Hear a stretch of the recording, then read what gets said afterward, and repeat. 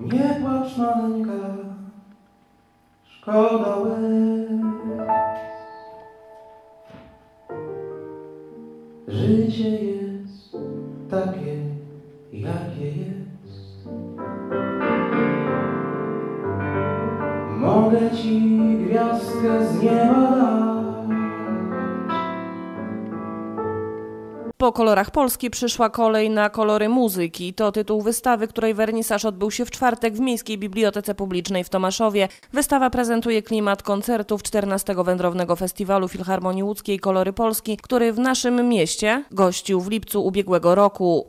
To dzisiejsze otwarcie ma taką uroczystą formę. Towarzyszy mu bowiem koncert y, y, tomaszowskich muzyków Piotra Goliata i Marcina Saktury.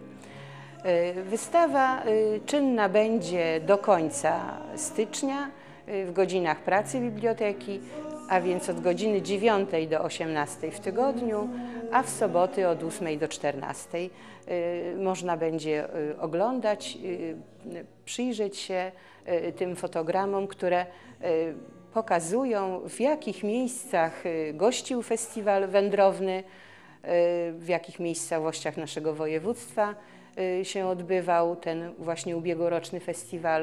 Y, Również y, są zdjęcia obrazujące y, występ filharmoników łódzkich y, w Kościele Zbawiciela w Tomaszowie Mazowieckim.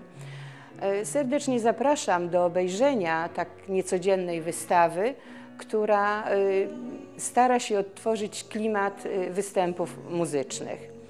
E, Myślę, że e, jeżeli Państwo będziecie chcieli zwiedzać nawet e, w grupach, to bardzo proszę zgłaszać do nas. Chętnie Państwu opowiemy i o festiwalu, i o wystawie.